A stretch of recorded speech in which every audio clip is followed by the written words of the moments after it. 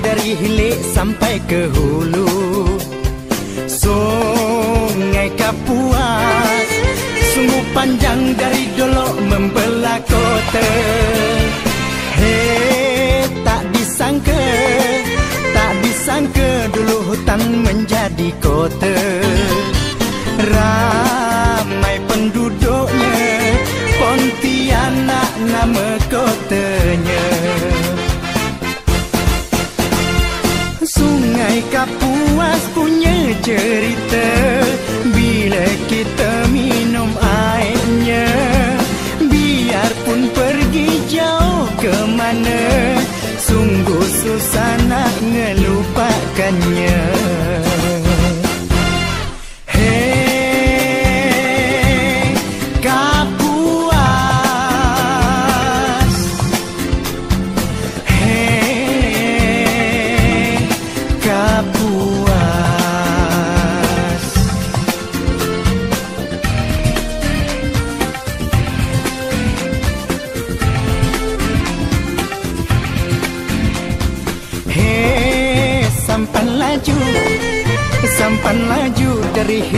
sampai ke hulu.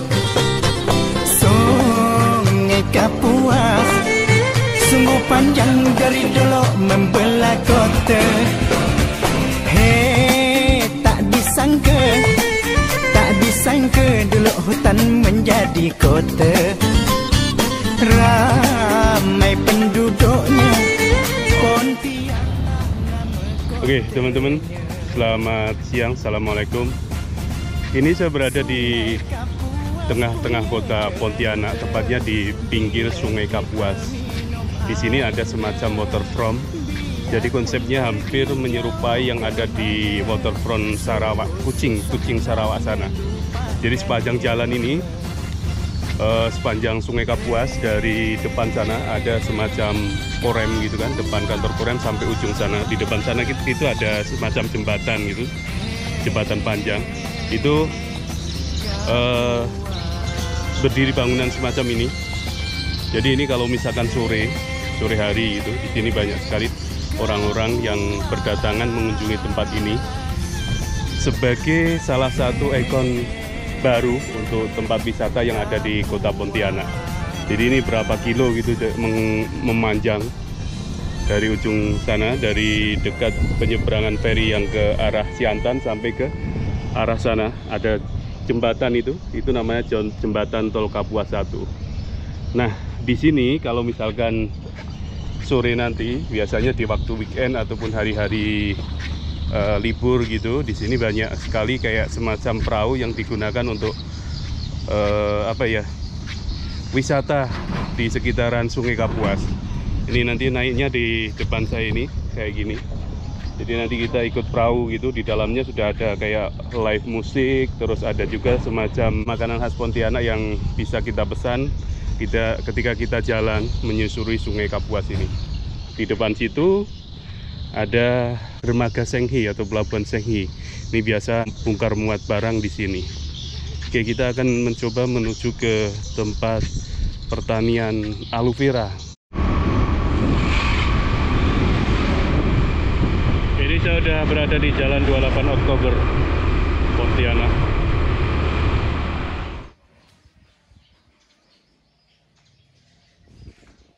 Oke, teman-teman kita udah sampai di perkebunan aloe vera atau istilahnya biasa kita nyebutnya ini namanya lidah buaya. Oh ya, kalau kalian pengen tahu ini saya lokasinya berada di sekitaran Jalan 28 Oktober dan kurang lebih sekitar berapa ya? 5 menit lah dari pusat kota Pontianak. Jadi di sini nih banyak sekali perkebunan termasuknya ini yang kita lihat tadi, yang kita lihat sekarang ini namanya perkebunan aloe vera atau perkebunan lidah buaya. Kemudian di sebelah-sebelahnya banyak sekali eh, perkebunan ini, pepaya. Tuh udah banyak yang tinggi-tinggi. Nah, di Pontianak ini kebetulan untuk penghasilan pertaniannya itu yang diunggulkan ini. Ini namanya lidah buaya. Seiring dengan perjalanan waktu di sini banyak sekali fungsi dari aloe vera ini termasuknya untuk kelembapan kulit, kemudian sekarang udah bisa menjadi sebagai sampo gitu yang dibuat jadi sampo kemudian jadi apa namanya eh, sabun ataupun pencuci dan lain sebagainya gitu. Nah ini kita bisa lihat seperti ini luas di sini aloe vera. Nanti kita coba tanya-tanya sama yang bersangkutan. bersihin rumputnya Bersihin rumputnya. Oh jadi ini dirawat terus tiap harinya ya? iya Berapa luas ini? Berapa hektar? Ada berapa hektar? Sa- satu hektar lebih Satu hektar lebih. Oh. Oh, jadi ini kalau mau nanya yang biasa udah bisa dipanen itu yang seperti apa bang? Hah? Yang bisa di- dipanen? yang bisa dipanen Nah, yang gini pada oh kayak gini nih. ah dari bawah dia panen Oh dari bawah sini dia panennya. ah Ini ditarik gitu aja apa gimana? di di itu Pakai apa? Dibelah di sininya Hah? Oh dibelah pakai pisau gitu. ah, ah diputar Oh. gitu Oh kemarin habis panen juga. Mm-mm. Heeh. habis panen satu dua minggu bisa panen lagi dia Oh jadi sekitar seminggu sekali gitu apa berapa hari sekali panennya? Hah? Seminggu sekali? ah, ah. Dilempar ke mana? pabrik ada Pabriknya sebagai apa? Nantinya dijadikan apa ini? minuman Terus? Minuman sampo apa Sampo juga ya? Oh Ah. jadi fungsinya banyak sekali ini ya? iya Oh gitu. Hmm. Ini namanya aloe vera. Kalau ini udah berum- berumur berapa lama ini bang? ini mungkin satu tahun lebih dah Satu tahun lebih. Dalam mulai tanam Hmm. sampai bisa diambil hasilnya itu berapa lama? Berapa tahun? Eh, berapa bulan? Satu tahunan lah gitu lah Oh satu tahun Udah baru bisa di besar, ah. bisa di apa panen gitu ya? Ah, udah standar lah Heeh. nanam sampai Iya sampai nggak bisa dipanen lagi itu berapa lama? oh ini bis, dia hidup terus kecuali karena cuaca kebanyakan hujan Ah. nanti itu dia biasa kadang tuh bu- busuk sendiri pohonnya ah kita ganti bibit Nanti yang ba- bibit baru gitu? iya bibitnya kan Oh. ada udah di sana kayak yang di tengah-tengah Mana? Yang mana? Yang mana bibitnya? Yang biasa diambil? iya Oh ini tunasnya ya berarti ya? Ah, ah, Oh dia- jadi dia setiap dia- setiap apa pohon terus bertunas gitu ya Mas ya Bang ya? Hmm. Oh, ini ini Bang. Terus Ini kan busuk dia dari batang, nanti kita tanam lagi cabut yang kecil nih, tanam baru lagi. Oh, jadi ini kayak kayak gini nih udah busuk berarti udah Ada tua yang gitu ya. busuk dia langsung berpokok dari tengahnya. Itu penyakit mungkin, Bang? Enggak. Ya mungkin kebanyakan hujan bisa juga faktornya. Oh, gitu. Nah, soalnya ini kan berang ini kan nyerap air, kalau kebanyakan air otomatis lah. Dia busuk gitu ya. Mm-mm. Jadi salah satu cara kalau udah mulai busuk kayak gitu langsung diambil, Buang gitulah. dibuang gitu terus nanti Ah. disulam gitu ya. Ah, Ditambah kayak ini kayak gini ini sulaman baru ini mungkin ya. Iya, kalau Hmm. kalau gak dicabut nanti dia nular ke tetangganya gitu. Hmm, gitu. Dia mungkin sem- semacam jamur kali ya, Bang ya. Iya. Ini ini apa ini? Ini anunya? Bunganya. bunga. Ini kalau jenis apa namanya? Eh tanahnya tanah apa sih sini? Tanah gambut. Oh, tanah gambut ya. Ah, Atau biasa sering disebut tanah sepok. Tanah sepuk ya. Ah. Satu hektar ini ada berapa pohon? Ah, mungkin belasan ribu lah. Sekitar Belasan ribu? Nggak dua belas ribu gitu. Oh, 12.000 pohon. Ah, ah. Dan ketika kita panen dalam satu minggu itu bisa sampai 2 Dia- tonan. Ah, dia gi- giliran sekali Giliran ya? iya. Oh, itu Bang, ini yang kayak gini maksudnya apa? Dibuang kayak gini. Nah, Ini nih. It- itu nanti ditanam balik itu udah kenapa?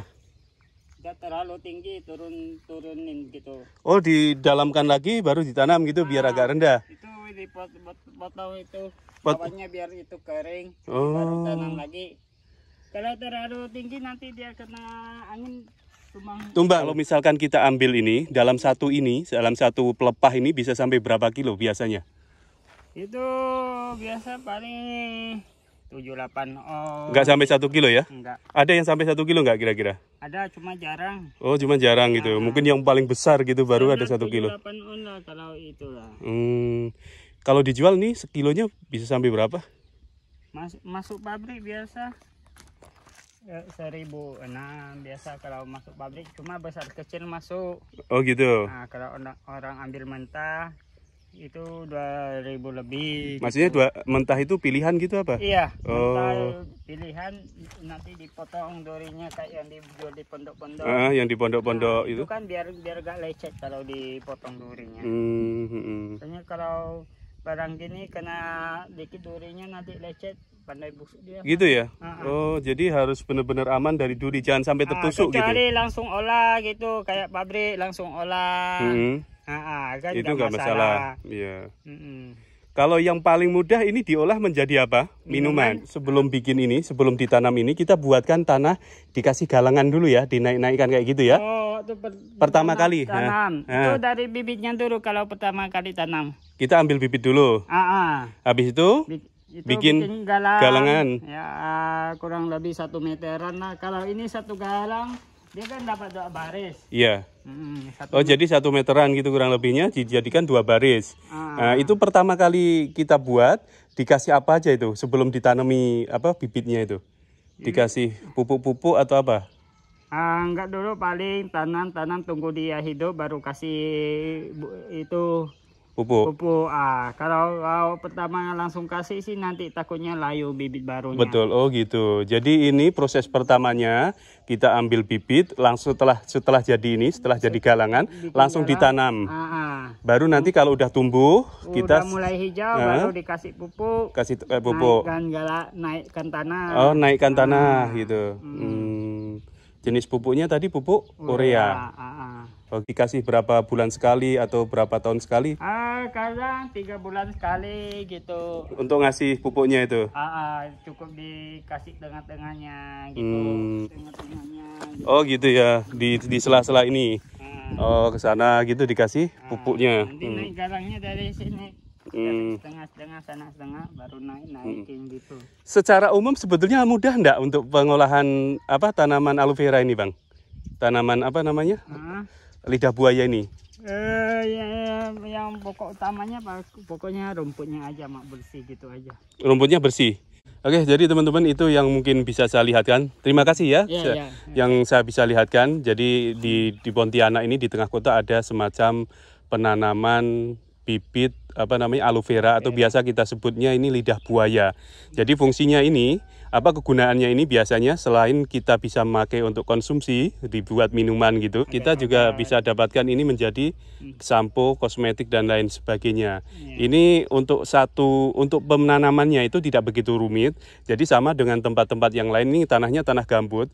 Jadi dibuat kayak semacam gini galengan terus nantinya langsung ditanam bi- apa namanya bibitnya ya, bibit yang kecil-kecil tunasnya. Itu mungkin sebagai referensi dari beberapa pertanian yang ada di Pontianak. Ini jadi, jadi khas sekali kalau misalnya kita ke Pontianak biasanya eh, di warung-warung itu sedia, sed- eh, menyediakan minuman aloe vera atau minuman ini apa namanya lidah buaya gitu ya. Iya.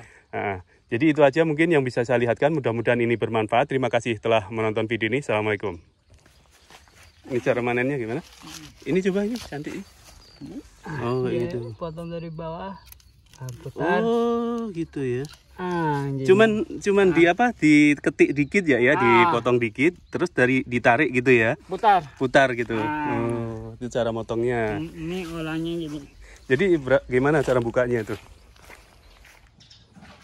Ngarap nggak pakai mesin aja. Ah, oh gini. Gimana caranya? Potong kedua ujungnya. Hmm. Ini pertama harus dicuci bersih dulu.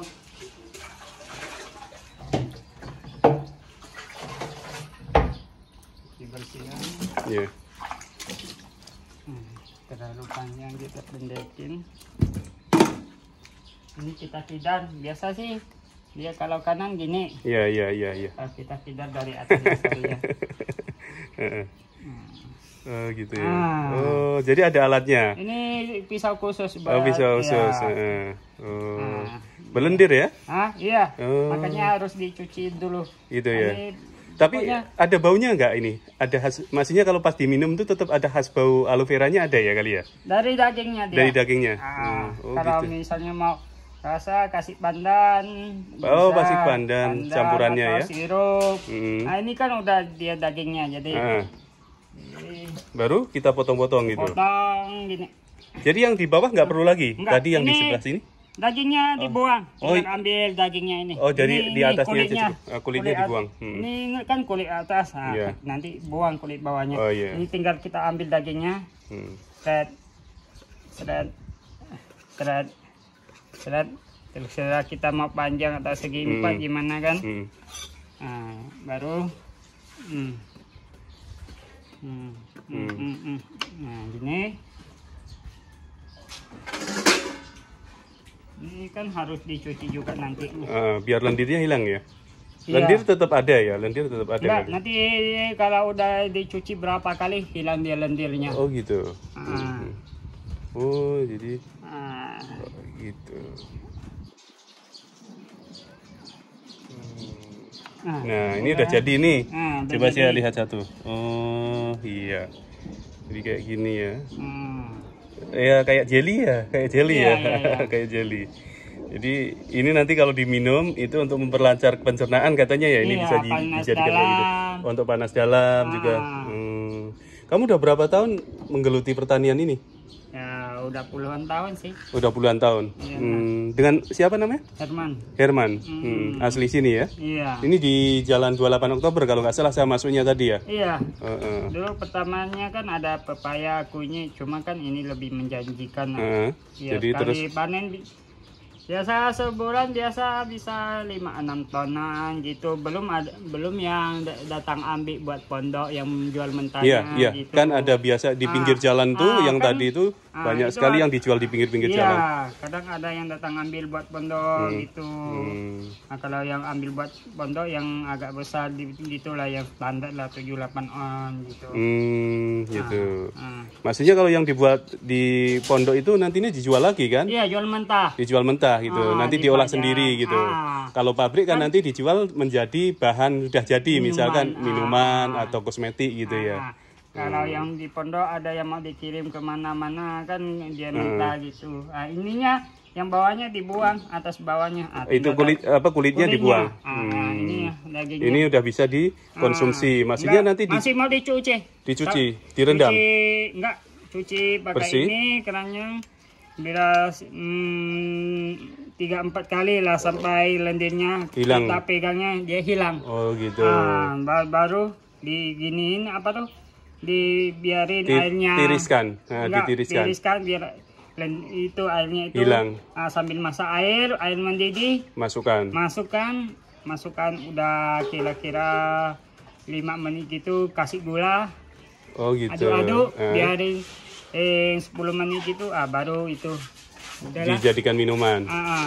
Oh Kalau mau gitu. harum dikasih bandan gitu. Iya iya iya. Mm-mm, mau kasih sirup boleh Eh, gitu. oh, untuk perasa gitu istilahnya ya. Ah. Oke, makasih ya bang ya. Ah, iya, iya, iya.